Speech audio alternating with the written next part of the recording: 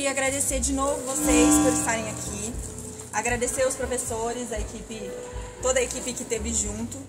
Agradecer em especial a professora Banda, que fez todo esse link com o artista e que conseguiu trazer para a escola essa exposição que vocês vão ver hoje.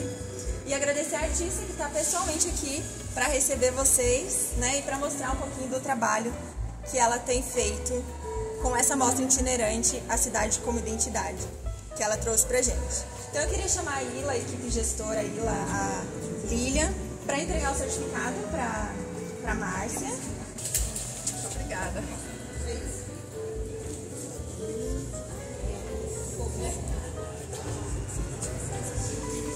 Viu? Ficou bom? E chamar a professora Banda também para entregar uma lembrança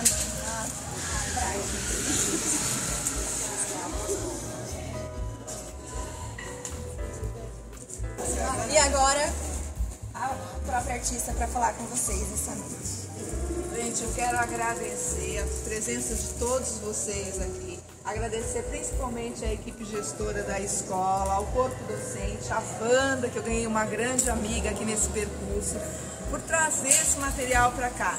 Essa exposição ela está itinerando pelo estado de São Paulo, ela tem o fomento do PROAC 2022 e ela é muito importante no sentido de que eu consiga levar a pesquisa da gravura e a arte a locais onde normalmente ela não está. Então tem muito sentido para mim, eu estou muito feliz por estar dentro de uma escola de arte mostrando a minha pesquisa em gravura, onde eu discuto patrimônio, questão ambiental, e é o que vocês vão ver. Eu estou à disposição de todos vocês aqui para responder questões, para a gente conversar um pouco. E mais uma vez quero agradecer a todos, tá? Muito obrigada.